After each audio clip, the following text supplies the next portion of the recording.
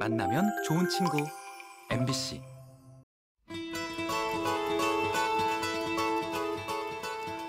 네, 여러분 안녕하세요. 디지털 매거진 로그인 제주 직원보입니다. 네, 안녕하세요. 저는 장인정입니다. 네, 요즘에요, 어, 이 제주 바다가 많이 힘들대요. 어... 해양 폐기물 때문에.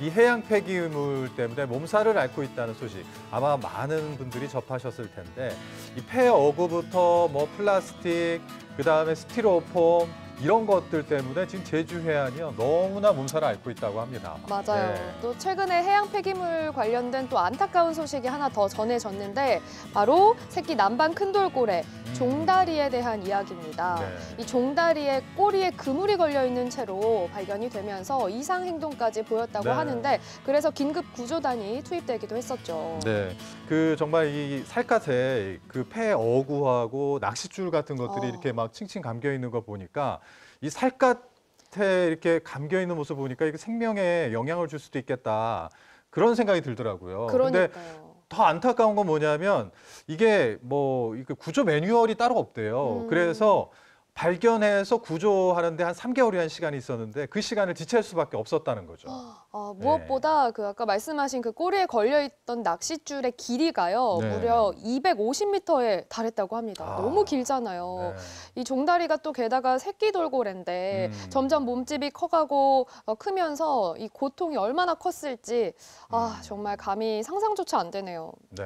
어, 지금 이 해양 폐기물 4분의 1 이상이요. 바로 폐어구나 이런 그물들이라고 그래요. 그물하고 낚싯줄. 음. 이런 것들이 이제 대부분이라고 하는데 일단 정부가 올해부터 이런 그 폐어구의 잦은 수거를 유도하기 위해서 이 어구 보증금제를 어, 시행한다고 합니다. 그러니까 오. 이제는 이런 폐어구들이 바다로 버려지지 않고 음. 반납 장소에서 반납이 됐으면 아. 하는 바람을 가져봅니다. 네.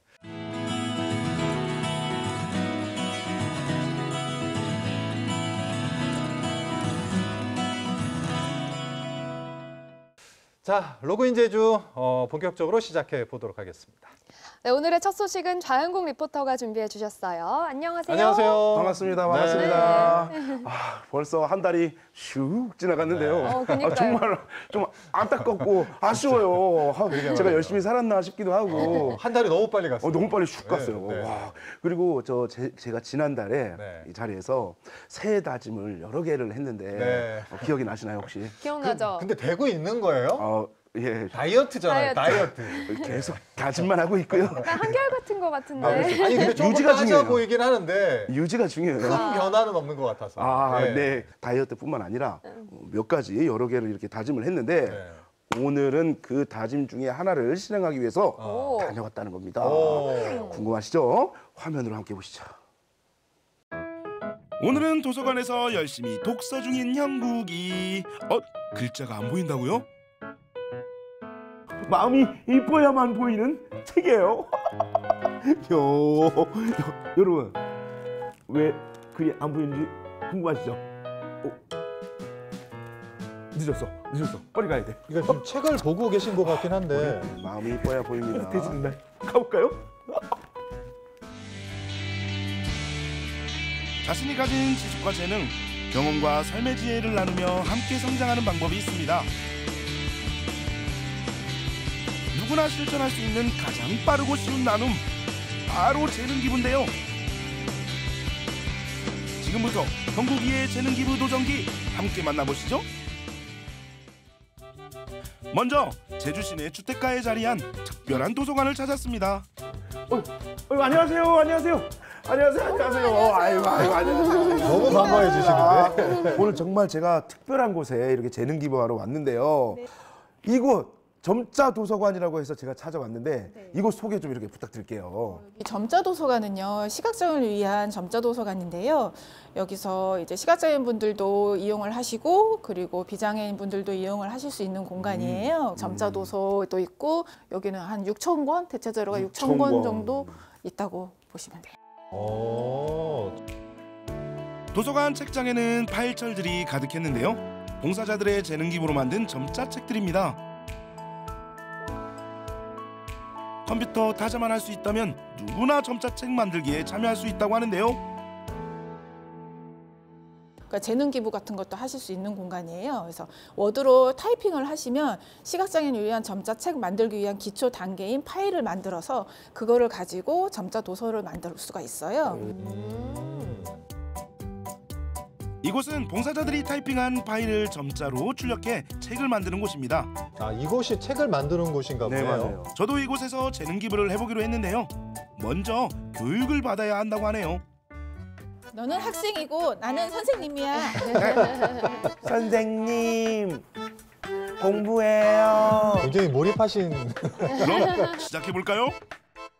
점자 책을 만들기 위해서 워드 입력 봉사라고 한글로 타이핑을 하는 거예요. 아, 우리 비장애인 분들은 이게 한글로 타이핑 봉사. 네, 타이핑 봉사를 하는 거죠. 그러려면 책에 대한 기본적인 정보를 적어야겠죠. 점자 책 만들기 위한 기본적인 이제 특수한 규칙이 있어요. 아, 또 규칙이 있어요. 네, 규칙이 있어요. 뭐 제목 같은 경우에는 여덟 칸을 들여쓰기.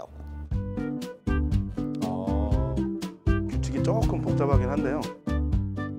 네. 책을 골라왔어요. 음식 잘 골라오셨네요. 아, 우리 할머니들 얘기. 네, 나비가 된 소녀들. 나비가 된 소녀들. 내용도 좋고 딱 느낌이 있었지만 네. 좀 얇아서 골랐어요.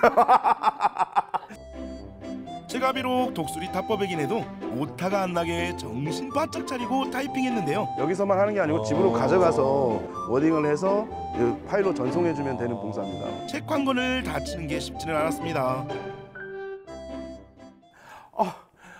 국장님, 어, 소- 한 시간 했는데 손이 굳어버렸어요. 힘들어 죽겠네. 쉬면서 하셔야죠. 어, 이거 하루에 이거 다 못하겠는데요? 아우 당연히 못하죠. 저희는 입력 어, 기간을 한 달을 시간을. 충분하게 아, 한 주시네요. 달. 네. 책 한 권 놓고 이렇게 하나하나 하다 보면 어느 순간 이렇게 한 권을 어, 이렇게 다 완성하면 처음엔 떠듬떠듬 하다가 네네네. 타자하는 것도 늘고 침이 안 걸리겠죠 이거는. 어, 봉사자분들은 책을 한 권을 읽을 수 있고 봉사 시간도 받을 수 있고 책도 읽을 수 있고 이중으로 이제 어. 저도 오늘 이 책을 오늘 이용해 봤는데요. 네, 오늘 하루에 도저히 안 되겠어. 그렇죠. 한 달 동안 입력하시면 되고 부족하면 한 달이 연장되니까 두 달. 동안 작업을 해서 완성하셔서 보내주시면 됩니다. 꼭 제가 오. 또박 또박 또박 꼼꼼히 해가지고 완성해서 보내드리도록 하겠습니다. 이번엔 또 다른 곳으로 제 재능을 나누러 갔습니다. 제주 시내의 한 브런치 카페인데요. 맛있는 향기가 가득했습니다. 음. 미혼 한부모 가정의 자립을 위해 만든 가게입니다. 애소원에서 어, 퇴소한 엄마들이 일자리 창출을 위해서 만든 그 카페예요. 그래서 여러 명의 일자리를 창출해서 엄마들에게 많은 기회를 줬고 요리 훈련이라든가 그 다음에 커피 훈련 어, 누구든지 창업할 수 있을 정도까지 그 경력을 잘 쌓았습니다. 그런- 그런 어떤 좋은 일자리라고 볼 수가 있는데 아, 제가 오늘 재능 기부하는 날인데 제가 점자 도서관에 갔다 왔거든요. 근데 여기는 지금 맛있는 냄새도 나고 어, 식당 분위기 나고 브런치 카페야. 제가 또 먹방 좌선생 아닙니까? 먹방 좌선생. 제가 오늘 뭘 해야 될까요? 아 그러면은 지금 손님들이 많이 들어오고 있으니까 앞치마 먼저 드릴게요. 그렇지. 네, 일을 할 준비 되셨죠? 근데 형국 씨 봉사하는 모습이 잘 어울려요. 제가 또 요식업에서는 한 재능 하지 않겠습니까? 요리면 요리, 서빙이면 서빙, 시키면 뭐든 다 잘한다니까요. 한국 씨 네네. 일하셔야죠. 저기 손님 나가셨는데 9번 테이블 치워주세요. 아, 네. 어, 너무 신나하시는데요. 어우, 손님들 깨끗이 오고 있어. 우와, 남기지도 않고. 이런 손님들 제일 좋아. 응? 깨끗이 비어있는 그릇들을 보니까 저까지 기분 좋아지더라고요. 한창 바쁠 때 조금이나마 도움이 되드린 것 같아 뿌듯하기도 했는데요. 아 이번엔 설거지. 산더미처럼 쌓인 설거지를 할 차례 맨손으로 쓱싹 쓱싹 기름때가 하나도 남지 않도록 깨끗이 닦아냈습니다. 매일 하시는 거 아니에요? 그죠? 팀장님, 하, 손이 빨개졌어요. 어, 어떡해요. 다 했어요. 고무장갑 안 끼고 하셨어요? 다 했어요. 어떡해. 고맙습니다. 고무장갑이 안 맞아요. 손이 커서 슬픈 형국입니다. 한국 씨 너무 힘드시죠? 고기 드려야 되는데 죄송해요. 이거라도 드세요. 아, 그래도 일 시키고 쉬는데 그래도 먹을 것도 주네. 되게 좋은 직장이네. 저희가 직접 만든 거예요. 그냥 한국 씨를 위해서. 오늘만 판매가 됩니다. 오 땅콩버터와 딸기잼이 이야 맛이 없을 수 없잖아 이건 저만을 위한 메뉴 안에 베이컨이라도 하나 넣어주지 미안해요. 아니에요 열심히 일하고 먹는 음식 기습만들 다 맛있다니까요. 아우, 그 먹을 때 제일 뿌듯하죠. 예. 이번엔 맛있게 어묵을 삶아서 저의 재능을 기부하기로 했는데요. 부업으로 어묵을 장사하는 미혼모 엄마가 오늘 휴무라서 제가 대신 열었습니다.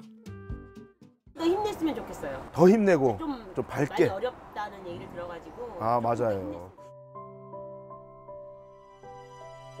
어느 누구보다 열심히 밝게 웃으며 일하는 엄마들을 보니 역시 어머니는 강하다는 걸 다시 한번 느낄 수 있었습니다.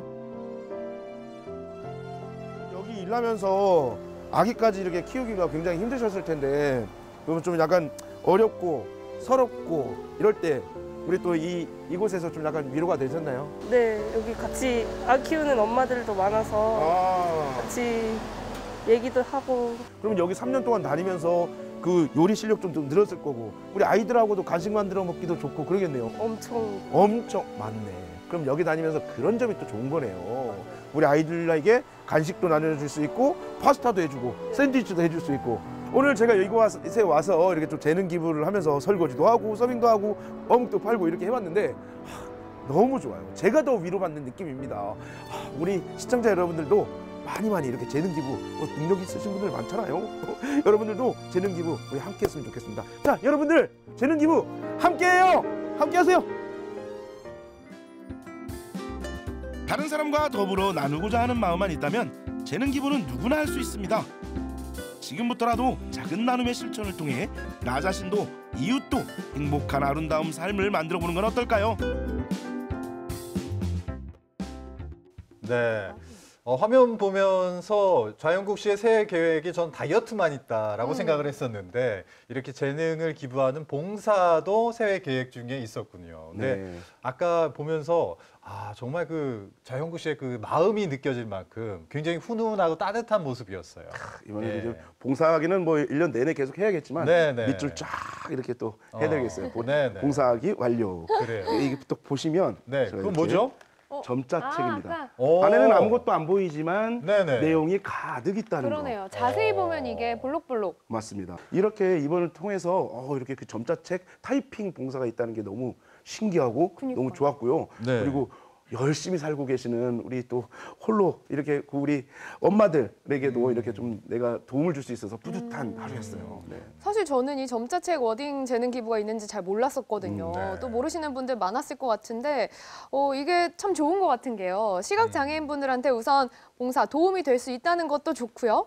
그리고 봉사자 입장에서도 음. 이 타이핑을 하면서 요즘 책 잘 안 읽게 되는데 책한 권을 뚝딱 읽을 수 아, 있잖아요. 그러네요. 네. 맞아요, 맞아요. 그리고 아까 맞아요. 화면에서 말씀하신 것처럼 어, 좀 치매 예방도 될 수 있고 음. 그러니까 무려 일석삼조 맞습니다. 네. 아주 좋은 것 같아요. 예, 말씀을 들어보니까 누구나 참여할 수 있고요. 이렇게 그 중고등학생들은 어, 봉사 시간도 이렇게 올릴 수도 있고, 음. 뭐 대학생, 공무원, 우리 가정주부까지 어, 얼마든지 이렇게 참여할 수 있으니까요. 네. 여러분들도 재능 기부 함께 해보세요. 음. 어. 네, 음. 그래요. 아마 오늘 방송 보시면서 아 나도 한번 해봐야지라고 생각하시는 분들 망설이지 마시고요. 새해 계획 차원에서 한번 도전해 보시고 봉사로 마음 따뜻한 어, 연초를 또 시작해 보시면 어떨까 싶습니다. 자 오늘 훈훈한 소식 감사합니다. 감사합니다. 네 이번에는 우리 이웃들의 삶의 이야기를 들어보는 또 만나보는 시간이죠. 정정우 리포터와 함께하겠습니다. 안녕하세요. 안녕하세요. 네. 자, 행복한 제주 삼촌들의 행복한 이야기를 담아 왔습니다, 오늘도. 어, 좋아요. 오늘은 누구를 만나고 오셨는데요? 열정이 넘쳐요. 아, 왜냐면요. 네. 제가 이번에 만나온 삼촌은 이 제주 도민분들 네. 넘어서 네. 이 축구를 좋아하시는 분들이라면 너무나 이분들을 기다리 축구? 이분을 기다리지 않았을까 생각이 듭니다. 축구? 축구. 혹시 유나이티드 유나이티드 맞습니까? 학범슨? 학범슨 오. 정답! 정답! 학범슨. 네. 네. 자, 우리 제주 유나이티드 FC의 새로운 사령탑이죠. 학범슨 김학범 삼촌을 만나고 왔습니다. 네. 자, 우리 김학범 감독님의 이야기 영상으로 만나보겠습니다. 이해는 실망시키지 않는 이런 경기를 저희가 보여드리려고 그러거든요. 그런 배고픈 선수한테는 갈망하는 게 많이 있거든요. 그래서 그 갈망의 자리가 여기가 되지 않을까. 제주 유나이티드의 제17대 사령탑 김학범 감독님을 만나러 함께 가보시죠. 최강 제주를 위해서라 최강채 아니 누군 그 어디 군부대 가서 알겠어요. 드디어 우리 제주에 그분이 오셨습니다. 하, 학범순 김학범 감독님께서 우리 제주에 와! 학범순 출발합니다. 뿌이 뿌이. 1982년 창단한 제주 유나이티드는 올해로 42년의 역사를 자랑하는데요. 2024년이 더 기대가 되는 이유는 바로 이분 덕분이겠죠. 17대 감독님으로 부임한 학범순 김학범 감독님입니다. 남들을 괴롭힐 수 있는 축구, 남들이 싫어하는 축구를 할 거예요. 저는 이제 운동장에서 아 어떤 모습으로 경기를 하는구나 지켜보시면 아, 재밌는 장면들이 많이 나오지 않을까 이렇게 싶습니다. 남들을 괴롭히기 위해서는 먼저 우리의 체력부터 길러야겠죠. 평소보다 더 강도 높은 훈련으로 선수들은 90분이 아닌 110분 축구에 걸맞은 체력을 키우고 있었습니다. 이야! 그 선수들의 훈련 모습을 다 지켜보고 계신 거예요. 오전 훈련이 끝난 후에 김학범 감독님을 만날 수 있었는데요. 팬으로서 너무 떨리더라고요. 참 오래간만에 이 K리그로 복귀를 하셨는데 제주를 지목을 하셨습니다. 특별한 이야기, 특별한 이유가 있다면 좀 어떤 부분에서일까요? 제주 팀은 그 전서부터 제가 가, 가장 관심 있게 이래 지켜본 팀의 하나예요. 사실은 제주도 팀이 좋은 성적을 낼 수 있는데 왜 안 될까 하는 생각도 저도 의문도 많이 가져봤고 아, 그런 부분에서 한번 맡아보면 해볼 수 있지 않을까 이런 생각이 많이 들었어요. 아, 그래서 더욱더 많은 우리 도민 팬분들도 이 김학범 감독님을 쌍수를 들고 환영을 하고 있지 않은가 생각이 드는데 그게 어떻게- 못지않게 제가 잘해야 될 것 같아요. 네. 어느 정도 또 우리 제주 현지의 좀 분위기와 또 나름 또 정서가 좀 많이 좀 적응이 되셨을까요? 예, 요즘 뭐 일부러 제가 시간 날 때마다 곳곳을 이렇게 돌아다니면서 보고 아 여기 참 좋은 데다, 이 좋은 곳이다라는 생각을 계속해서 느끼고 있고 이 팀이 아, 제주도 사람들한테 더 많이 알려서 더 많은 팬이 오게 할 수 있는 방법이 뭔가도 한번 좀 많이 생각을 해봤어요. 뭔가 좀 본인만의 아, 재능이 좀 있겠구나 뭐 그런 판단이 좀 있으셨어요? 저는 절대 그런 거 없었어요. 재능이 솔직하시네요. 그렇게 있었던 게? 아니고, 예, 그냥 아, 남들한테 지기 싫어서 조금 막차까지 하지 않았나 이렇게 싶어요. 재능은 절대 없었어요. 예. 툭하면 야, 저 선착순 저까지 뛰어갔다 와. 뭐 이랬었거든요. 근데 그 뛰는 거를 지길 싫어했어요. 음. 예, 그래서 꼭 그러면 이제 어떻게든지 그 다음 날은 내가 오늘 쟤한테 졌으니까 내일 저놈은 내가 꼭 잡아야 되겠다. 승부욕은 아직도 여전한데요. 선수들과의 턱걸이 내기에서도 지지 않으시더라고요. 그리고 감독님 하면 빠질 수 없는 특별한 이력이 있습니다. 은행원에서 저 굉장히 잘했어요. 저 굉장히 잘해갖고 사실은 제가 처음 맡은 업무가 섭외 파트 업무인데 섭외 파트면 주로 어떤 업무를? 주로 그 최우수 고객 그때 당시에는 최우수 고객이라 VIP 요즘 예, VIP. 그때는 최우수 고객이 제일 높았어요. 그 최우수 고객을 관리하는 이런 부서. 중책이네요. 예, 그 사실 어떻게 보면 은행에서도 아무것도 모르는 사람한테 그런 그 중요한 자리를 맡겼잖아요. 근데 우린 또 사람과 사람 대하는 거는 또 또 언제든지 할 수 있으니까. 네.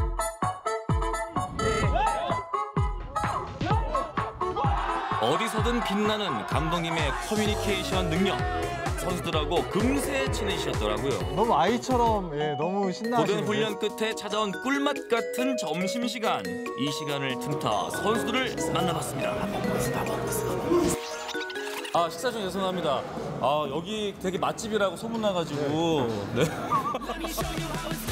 해설위원에서 다시 선수로 12년 만에 친정팀 제주로 돌아온 베테랑 미드필더 구자철 선수입니다. 저는 이제 어쨌거나 이 한 팀을 꾸리거나 일을 같이 할 때이 솔직하면 훨씬 더 신뢰가 커지고 어, 이 신뢰를 바탕으로 모든 일을 하잖아요. 그런 부분에 있어서 감독님이 이렇게 굉장히 솔직하시고 굉장히 화끈하시고 이런 것들이 아마 선수단에 좀 변화가 많이 있을 것 같다는 생각이 들어요. 긍정적인. 네. 다시 슈팅! 좋습니다. LGF 때 수문자 우리 김근배 선수도 옆에서 또 한마심을 해주셨는데요. 먼저 다가와주시고 장난도 많이 쳐주시니까 좀 더 저희도 편하게 나가갈 수 있는 것 같아요. 아유, 감독님이 뭐 좀, 예, 편하게 해주시니까. 네. 금배형 뭐 감독님 농담하면 금배형 뭐 다 받아주시니까. 아 역시 또 그 연륜이 또 어디 안 가죠. 땀을 너무 흘리셔. 추워서 조끼를 입었는데 더워지네. 감독님 사랑합니다. 팀 내 리그 최다 출장자로 제주 유나이티드의 탄탄한 수비를 담당하고 있는 공격형 풀백 정훈 선수. 감독님 경험이 많으셔가지고 저희는 그냥 감독님 믿고 지금 훈련하는 거고 또 지금도 정말 아까 보셨다시피 정말 좀 강도 높은 체력 훈련을 하고 있거든요. 근데 선수로서 좀 불만이 생길 수도 있지만 또 감독님의 경험으로 저희는 믿고 한번 가보는 거죠. 아. 그래서 저는 좀 기대를 하고 있어요. 네네. 얼마나 우리가 몸이 좋을까. 감독님께 한 말씀을 좀 부탁을 드리겠습니다. 올 시즌 많이 이기게 해주세요. 그럼 감독님도 그럴 거예요. 그럼 니네들이 잘해야지 이기지. 만 정답인데 그건 너무나 맞는 말씀을 해주셔가지고요. 그런가? 네. 많은 분들의 또 이 팬심으로 함께 어, 부상 없이 공약 한번 하실래요? 공약이요. 네. 네, 뭐든 어, 자 잡으시고 네. 뭐 하고 싶은 거 다 하세요. 아, 올 시즌 네. 경기장에 몇분 오실 거예요? 저는 사실 욕심은 정경인데 지금 누가 누구를 인터뷰하는 거예요? 갑자기 그 진행을 본인이 하시더라고요. 홍경구. 제 이름이 구니까 아홉 번 오세요. 아홉 번, 아홉 번, 올 시즌 아홉 번 약속하겠습니다. 아, 큰일 났네. 아홉 번 올 때 또 뭐 해야 될 것 같은데. 성우 백씨 없으면 큰일 날 분에서 그한 테이블에서 다시 한번 자신이 안 앉을 거예요. 그뿐 아니라 어느새 한국 사람이 다 된 유리 조나탄 선수와 아시아 국가는 처음이라는 이탈로 선수까지 만나보시죠. 안녕하세요. 저는 유리입니다. 포도입니다. 음, 구반, 구반, 구반입니다. 아, 유리 탱키. It's 네. my nickname, 탱키. 별명처럼 강력한 플레이를 선보이는 유리 탱크 유리 조나탄. Chona, Ítalo, Imridá. É, sou o Ítalo, quero ser chamado assim mesmo. Sou desse jeito meio, meio tímidozinho, mas dentro de campo vocês vão me conhecer melhor, só quero ser conhecido como Ítalo mesmo. 올 1월 영입된 수비형 미드필더 이탈로 선수입니다. 김학범 감독님 만났을 때는 어떤 느낌이었는지 궁금해요. Ok, cada treinador ele tem a sua característica e o, o nosso treinador, o Rakpon, ele tem uma ele é muito rígido em todos os assuntos. Então, todos os treinos dele são bem firmes, bem desgastantes. Só que eu tenho certeza que eh, nos levará a uma grande performance. Então, todo o processo ele é chato, né? Não é- Ele é um pouco chato no, no durante. Só que o resultado ele é muito bom. Então, nesse primeiro contato, a gente já, já deu para ver que ele pega bem no pé, assim, é bem firme. Só que é sempre para o nosso bem. Então, por isso, a gente está bem animado com, com os resultados que teremos. Ah, Ele incentiva muita gente nos treinos, né? Tá sempre ele gritando bom, tentando até falar em português também. É, é um treinador que tá, tá fazendo de tudo para que a gente se, se adapte ao jeito dele ali, né? O treinamento é, é meio intenso, é meio pesado pra gente que vem do Brasil assim, não é acostumado com, com tanta intensidade, mas tenho certeza que, que no final vamos colher bons frutos de, de todo esse trabalho que vem sendo feito. 제가 또 막간을 이용해서 한국 생활의 꿀팁을 전수해줬는데요. 제주 유나이티드 팬들을 위해서 손 하트 정도는 할 줄 알아야 하는 것 바로 이 말 아니겠습니까? 이번 한국의 정서가 다 묻어났습니다. 올해는 특히나 좀 많이 기대가 큰 것 같습니다, 감독님. 그래서 그렇게 기대가 컸다가 실망도 큰데 너무 기대하지 마시죠. 예, 하여간 제주가 1097 시절에 사실 89년대 김병남 감독 시절에 사실은 그때 우승하고 지금 못했어요. 그 꿈을 한번 다시 만들어 보는 것도 내가 이 제주에 있는 동안에 할 일이 아닌가 싶어요. 나는 대표 선수도 안 해봤고 프로 정치 생활도 안 했다. 근데도 지금 이 자리에 있다. 어? 여러분들도 언제든지 어떻게 기회가 있다. 저는 그렇게 대해서 강조하고 있는 거죠. 2024년 제주에서 출격하는 김학범호 그 새로운 출발을 저도 함께 응원하겠습니다. 아, 저꼭 아홉 번 갈 테니까 멋진 경기 부탁드리겠습니다. 네, 김학범 감독님 참 반갑게 볼 수 있었는데요. 아까 말씀하실 때 뭐 재능은 없다라고 하셨지만 그 승부욕만큼은 정말 끈질긴 모습을 보여주시는 것 같아서 굉장히 좀 기대가 되고 앞으로 우리 제주 유나이티드가 이 끈질긴 승부력으로 뭔가 일을 낼 수 있겠다 이런 생각도 들었습니다. 어, 그러니까요. 그리고 또 아까 화면에서 보니까 턱걸이 내기나 골대 네. 맞히기 내기 이런 거 하셨었잖아요. 현역 선수들과의 경쟁에서도 지지 않는 음. 와 네. 어마어마하신데요. 네. 자 저런 이 감독님만의 이런 그 스킨십과 이 승부욕이 팀 내 분위기를 한껏 끌어올리고 있는데 네. 자 한번 이 김학범 감독님의 인터뷰 내용 중에 이 제주를 이 원정의 무덤으로 만들어 버리겠다 오. 이런 말씀 강한 네. 포부를 말씀해 주셨는데 아마 이 한마디가 많은 축구 팬분들에게 큰 희망이자 응원이 되지 않을까 생각이 듭니다. 제주의 첫 경기가 언제냐면요.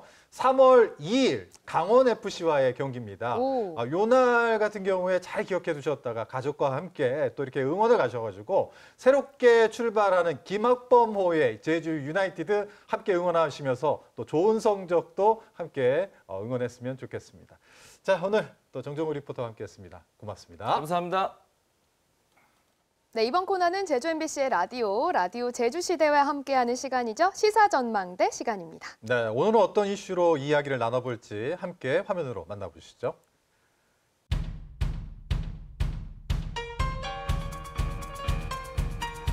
예, 시사 전망대 출발합니다. 오늘은 현덕규 변호사 그리고 제주 대한연구 공동체 강호진 센터장 두 분과 함께하는 날입니다. 두 분 안녕하세요. 네, 안녕하십니까. 네, 반갑습니다. 예, 두 분 잘 지내셨습니까? 저는 멀쩡합니다. 아, 멀쩡하다. 아, 저는 지금 독감 걸려가지고 한 아, 일주일째 고생했는데 예, 좀 예. 그, 끝자락인 것 같습니다. 예, 목소리가 좀. 잠겼을 겁니다. 예, 멀쩡하신 분과 조금 더 덜 멀쩡하신 분과 함께하는 날인 것 같습니다. 자, 저희 예고해 드린 대로 오늘 어, 국토부의 제2 공항과 관련한 주민들의 의견 수렴에 대한 답변이 나왔는데 이 내용을 보면은 제기된 문제에 대해서는 다 보완 가능하다. 그렇죠. 진행하겠다라는 내용이 아마 골자가 되는 내용이겠죠. 어, 결과적으로 국토교통부에서는 어, 예정대로 진행을 하겠다 하는 네. 내용을 이제 정리를 해놓은 것으로 볼 수 있을 것 같습니다. 그러니까 멸종 위기종 서식지 문제 이런 것들 문제 제기됐었고 숨골 얘기가 그때 많이 나왔었잖아요. 숨골은 뭐 문제 제기 수준이 아니라 사실관계가 좀 확- 확인된 게 몇 개 있었죠. 그렇죠. 아니 애초에는 숨골 없다 그랬다가 예, 예, 예. 문- 어, 시민들이 이제 문제 제기를 하고 나니까 재조사를 했는데 거기서 한 150여 개 발견됐다 뭐 이렇게 정도 좀 나오고 있는 거죠. 근데 그것도 보완 가능하다. 그건 라는 이제 게 국토부 입장인 건데 예, 예. 그것도 사실 검증은 필요하다 보입니다. 예. 음. 그 다음에 일단 국내선 전용으로 계획을 하고 있다라는 거 확인을 다시 한번 했고요. 예. 군공항 계획은 없다라고 지금 못을 박았다라는 게 그 언론 보도로 나오고 있는데 이 부분 은 어떻게 보셨습니까? 글쎄요, 그러니까 지금 군공항 관련된 얘기가 자꾸 나오는 이유는 예.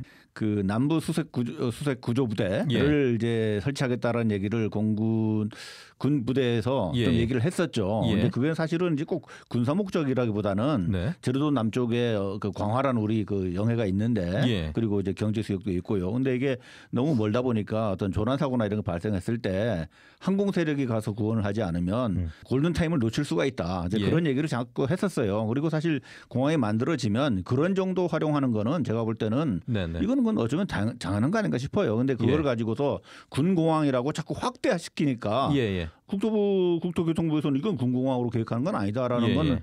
어, 그건, 그건 어떤 정석의 답변이죠. 예, 예. 문제는 예. 제2공항이 만약 된다는 전제 하에 예. 뭐 남부 탐색 구조 부대에 뭐 필요성이 있을 수 있겠지만 혹시나 그럼에도 불구하고 제2공항에 이 부대가 들어올 순간 이거는 이제 민간공 순수 100% 국토부가 주장하는 민간 공항은 아니라 예. 군 공항이 될 수밖에 없는 거고 공항 통제권도 어, 사실은 국토부가 아니라 어, 국방부 갖게 될 수밖에 없는 거예요. 우리나라 예. 공항 그러니까. 예를 들면 이제 군산 공항 같은 경우가 예. 그런 경우가 되는데 이제 뭐 민간 항공기도 뜨지만은 거기에는 이제 미군이 또 이용을 하고 있어서 미군 이용할 때는 아예 항공기 출도착이 금지되는 그런 경우들도 좀 생길 수가 있거든요. 제가 좀 말씀드리면은 예. 군 공항 관련해서는 사실 좀 더 객관성을 가지려면 사실은 국토부가 아니고 예. 국방부나 음. 국무총리실에서 발표를 해야 그나마 도민들이 좀 오해를 덜 살 수 있는 그런 것 같고요. 군 공항 문제는 예. 사실 뭐 군 공항으로 계획하고 있지는 않다고 봐야겠죠. 근데 이제 유사시에 어떻게 활용되는가는 건 그때 가봐야 하는 거고요. 유사시에는 사실 뭐 민간 공항, 공공항 어디 어디 저 구별이 어디 있습니까? 예, 급하면 고속도로도 활주로 비상 활주로도 사용하고 하는 거죠. 아, 그럼요. 그때 그때 전, 전략적인 예. 어떤 전술적인 상황에 따라서 바뀔 수가 아, 있는 건데 그러면은- 어떻게 천명한다는 것 자체가 예. 스스로 국가가 자기 발목을 잡는 것이라 돼서 그거- 그런 예. 거는 원래 계획은 그것이 아니었다라는 걸로 충분하지 않을까 저는 봅니다. 맞습니다. 이건 뭐 좁혀지지 않는 부분이네요. 알겠습니다. 근데 저는 국내선 전 용도 약간 이제 문제 있다 고 보는 게 예, 예. 제가 알고 있는 이제 팩트는 뭐 대한항공, 아시아나는 여기 쓰고 LCC 저가항공은 성선으로 가- 가도록 돼 있거든요. 예. 그러면 저처럼 어려운 서민들은 예. 가까운 제주공항을 버리고 네. 성산을 가야 되는 거죠. 사실 그런 상황이 발생할 수밖에 없다고 봅니다. 이건 이제 조정의 여지가 있다라고 좀 조정의 얘기는 여지는 별로 없는 것 같긴 한데 여튼 그런 것까지 좀 명료하게 예, 예. 국토부가 알려주셔야 도민들이 제2공항에 대해서 판단할 수 있는 근거가 되는 거죠. 그렇기 때문에 뭐 지금 제2공항도 여기 향후에는 국제선으로 사용할 수도 있다라는 여지의 문장이 좀 들어가 있긴 합니다. 보니까. 뭐 하나만한 얘기고. 아 그래요? 볼 때는 뭐 국내선 전용이냐 국제선도 같이 겸용으로 쓰느냐 하는 예, 예. 거는 그건 그야말로 지금 이제 탁상 공론인 것 같아요. 아니, 그렇지 않습니다. 왜냐하면 공항이라는 게 만들어지고 나면 예. 뭐 이제 공항 스스로 활용되는 게 아니라 항공사들이 어떻게 활용할 것인가 그리고 예.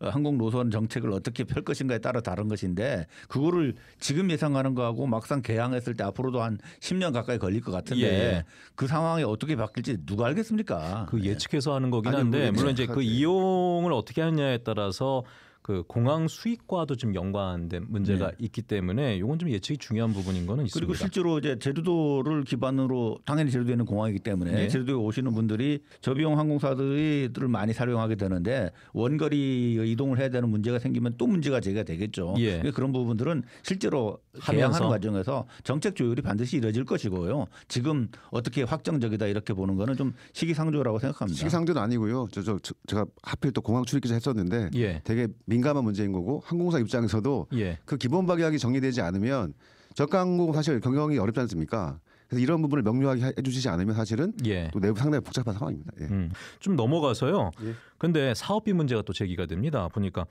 이 총사업비가 당초 예상했던 것보다 어, 꽤 많이 늘어나게 생겼는데 애초에 예비 타당성 조사 때는 4조 8,734만 2천만 원의 예상 비용이 나왔었는데 지금 기본 계획안에 나온 것을 보니까 6조 8,900억 원이 예상된다라는 겁니다. 무려 41%가 늘었는데 그래서 이것도 타당성 재조사 들어가는 거 아니냐 뭐 이런 그 예측도 나오던데 이건 어떻게 보십니까? 물론 이제 어, 사업비가 어, 많이 증가될 거로 보입니다. 왜냐하면 이게 예. 처음에 계획이 입안된 이후로 너무 많은 어, 시간을 끌었어요. 그렇죠. 그 사이에 이제 물가도 많이 올랐고 네네. 특히 이제 땅값이 많이 올랐기 때문에 네. 전체적으로 사업 면적은 축소가 됐음에도 불구하고 비용은 더 늘어난 거죠. 원래 규정상으로는 이제 사업비가 총 사업비가 네. 15% 이상이 증가하면 하면 예. 새로운 절차를 진행해야 되는데 단서 조건이 예를 들면 물가 상승률이라든가 집가 관련된 것들은 빼도록 되어 있거든요. 예. 그런 국토부에서는 물가 상승률과 집가 상승률을 빼고 나면 한 10% 이내이기 때문에 문제가 없을 것 같다라고 얘기를 하고 있, 는것 같긴 합니다만. 그거는 이제 수치를 좀 객관화할 필요가 있겠고요. 예. 전체적으로 한 2조 정도가 늘어난 건데요. 이게 예. 이제 한년 1년의 예산을 쓰는 게 아니라 사업 기간 전체에 어, 분산돼서 사용되는 거기 때문에 예. 국가 재정에서 이 정도의 어, 예산의 증가는 뭐 충분히 감당할 능력이 된다 고 보고요. 어, 국가가 어, 국책 사업으로 진행하는 것이기 때문에 예. 필요하다면 예찰을 할 것이고요. 네. 아니면 현재 상태에서 어, 저, 진행되는데 큰 무리는 없을 거로 생각합니다. 아무튼 이 돈 문제도 있습니다. 이건 뭐 앞으로 어떻게 될지 모르겠습니다만은 지금 가덕도 신공항에도 큰 돈이 들어갈 부분이 있기 때문에 예. 이거 자꾸 후순위로 밀리는 것 아니냐라는 또 전망들도 나오고 있기 때문에 그 총선 때 부분을 상황을 좀. 봐야 할 것 같습니다. 총선. 예. 총선 얘기 나왔으니까 총선을 좀 넘어가 보죠. 이거 지금 또 이번 총선에서 제2공항이 이슈가 될 분위기입니다. 위성권 국회의원 더불어민주당의 위성권 국회의원이 이번에 입장을 좀 명확하게 밝혔네요. 제2공항 해야 된다. 라고 예, 좀 예. 얘기를 했는데 그러니까 서귀포는 그 출마자들은 거의 뭐 대동단계라는 분위기인가 보죠 제2공항과 관련해서는 그러니까 이제 서귀포 지역, 뭐 성산을 포함한 서귀포 지역에서는 찬성의 여론이 높다는 거 아닙니까? 예, 사실 예. 이제 국회의원이 어, 여론을 거스르면서 총선을 나갈 수는 없거든요. 아 여론 따라가는 것이다. 예, 그래서 아. 뭐 여, 여론을 간접적으로 확인해 주고 있는 것이다 저렇게 생각합니다. 예. 어쨌거나 근데 이게 좀그 유의 깊게 봐야 되는 부분이요. 서귀포 쪽에선 출마자들의 의견들이 거의 비슷해졌는데 예.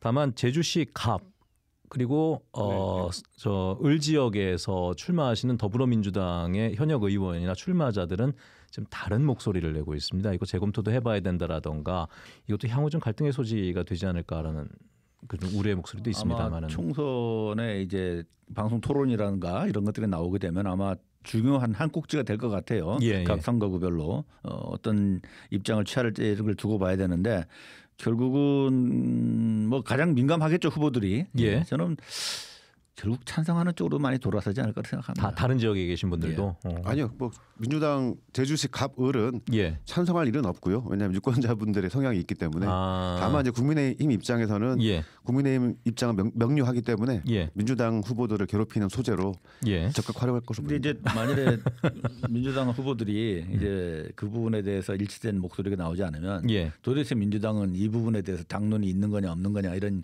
공박이 또 일어나겠죠. 알겠습니다. 전선이 또 어떻게 좀 형성이 될지 이 부분도 좀 관심이 가는 부분이라서 잠시라도 제2공항과 관련해서 짚어봤습니다. 자, 저희는 여기서 마무리하고요. 2부에서 다시 찾아오도록 하죠. 국토교통부가 이 전략 환경 영향 평가에 대한 주민 의견 수렴 결과를 공개하면서 제2공항 기본계획 고시 절차에 대한 속도를 내고 있는 한편 여당의 총선 후보자들도 일제히 제주 제2공항의 조속한 건설을 공약으로 내놓고 있습니다. 네. 어, 총선 과정을 거쳐서 이 제국 이 공항과 관련된 여러 가지 얘기들이 나올 것 같습니다. 사실 어, 문제들도 있고 갈등도 있고 하지만 이것에 대한 또 우리 도민들의 민심이 과연 어떻게 흘러갈지 그런 공약들을 잘 확인하시면서 점검해 보는 것도 필요할 것 같습니다.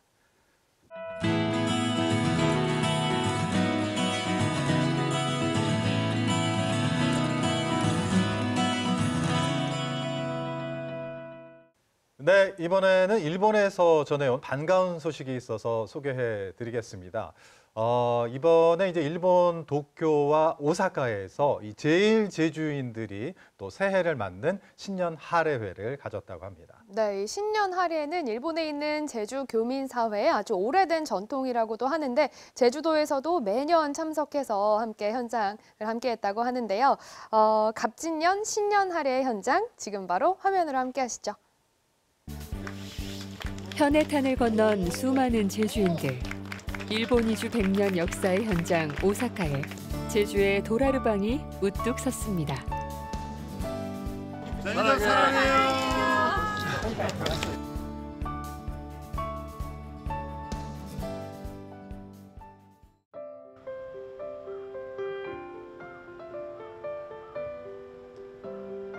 새해가 되면 일본에서는 제일 제주인들이 모여 화합을 다지는 자리가 마련됩니다. 올해도 도쿄에서 신년 할애회가 열렸는데요. 제주에서도 반가운 손님들이 찾아와 새해 인사를 나눴습니다. 참 좋습니다. 그리고 도지사님 비롯한 여러분들이 와주셔서 고맙고 감사를 드립니다. 新年会はチェジュ道民協会の一番の行事です、えー都知事と会って、え1年が始まるで、えー我々がまたチェジュに行くそして交流を深める、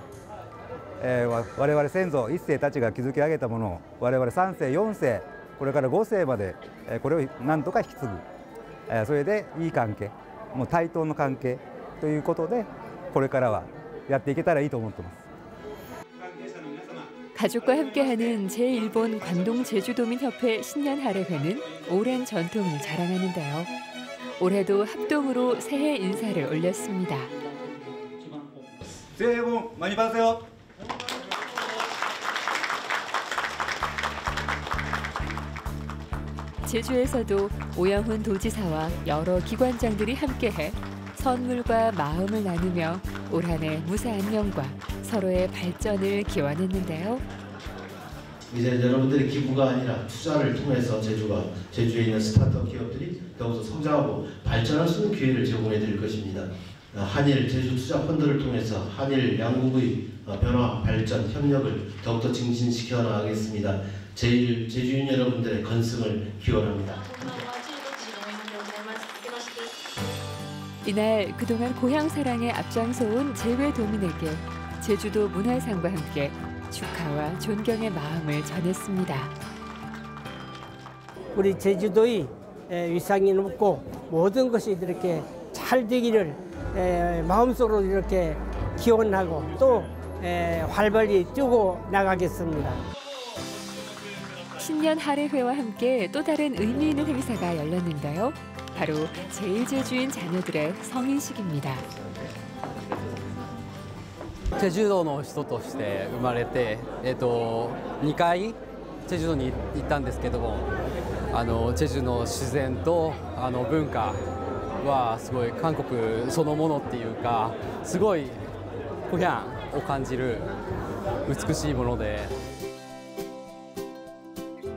다음 날 많은 제일제주인들이 사는 오사카로 향했습니다. 인파로 북적이는 이곳은 코리아타운인데요. 일제 강점기부터 빈곤과 차별의 상징이던 이곳으로 이제는 일본 전역에서 많은 관광객들이 몰려듭니다. 사실 오사카 이쿠노구는 제주를 옮겨놓은 듯한 제주 축소판이거든요. 이날 코리아타운의 한 공원에서는 제주의 돌하르방 기증식이 열렸는데요. 이쿠노 구청장은 고마움의 표시로 오영훈 도지사에게 감사장을 전했습니 다.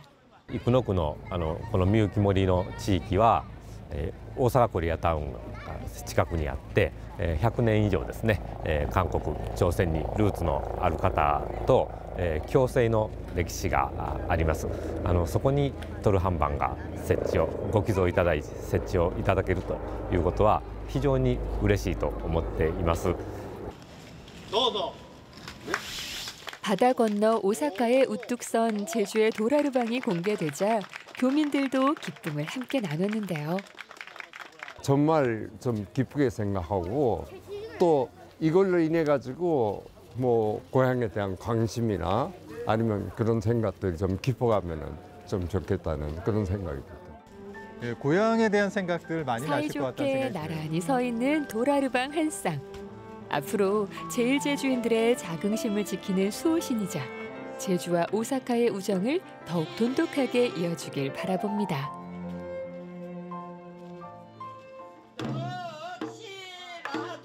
이어서 제주 칠머리당 영등굿 보존회가 군대환 아리랑 공연을 펼쳐 제일 제주인들의 가슴을 뭉클하게 했습니다.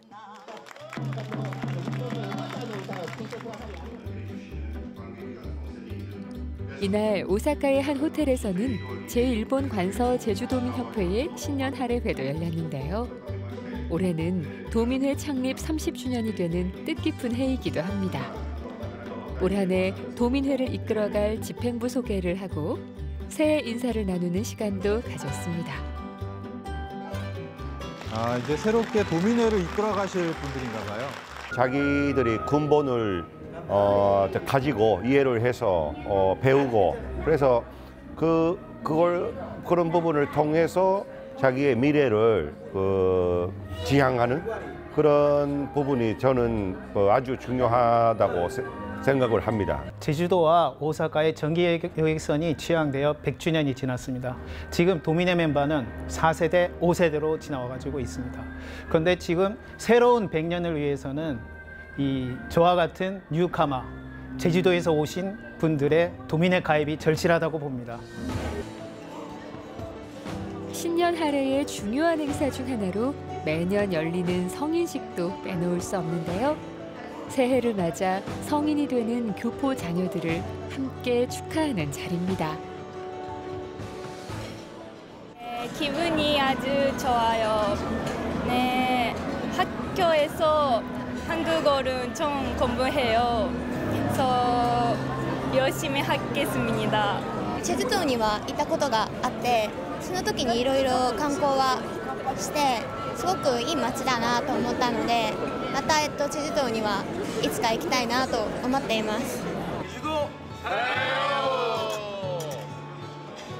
오늘은 제주도 도지사님, 교육감님, 위자님 다 제주도에 중요한 사람들 다 모이고 여기가 일본 아니고 제주도 느낌을 갖고 너무 기쁩니다.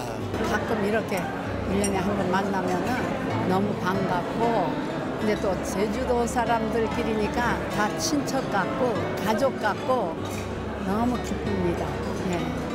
今日は、えー、チェジュ道民協会の新年会に来てあーとても嬉しく思います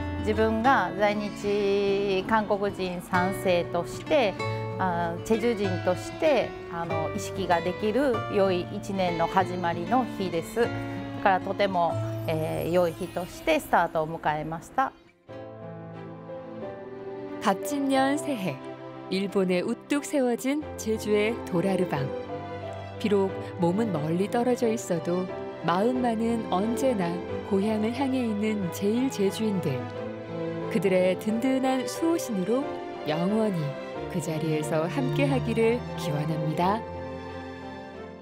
자, 일본 도쿄와 오사카에서 어, 있었던 또 이 신년 할애회 소식 전해드렸는데 많은 분들이 모이니까 굉장히 보기 좋았다는 어, 생각이 들었고, 그러니까요. 예, 제주를 좀 더 생각할 수 있는 계기가 됐던 것 같습니다. 무엇보다 어, 또 제주의 돌하르방을 또 기증하는 기증식이 있었기 때문에 더욱 더 의미 있는 어, 자리가 아니었나 싶습니다. 네, 무엇보다 일본에서 도라르방을 볼 수 있다는 게 어, 생소하면서도 너무 특별할 것 같고 네. 그 공원을 지날 때마다 아마 교민분들은 또 제주를 떠올릴 수 있어서 너무 또 좋을 것 같다는 생각도 듭니다. 네. 이번 기회로 100년을 넘은 이 오사카와 제주의 관계가 세대를 이어서 계속해서 돈독하게 네. 유지되기를 바라봅니다. 그렇습니다. 자, 제일 제주인뿐만 아니라 우리 제외 제주 도민들 모두 올 한 해 건강하시고 행복하시길 기원하겠습니다.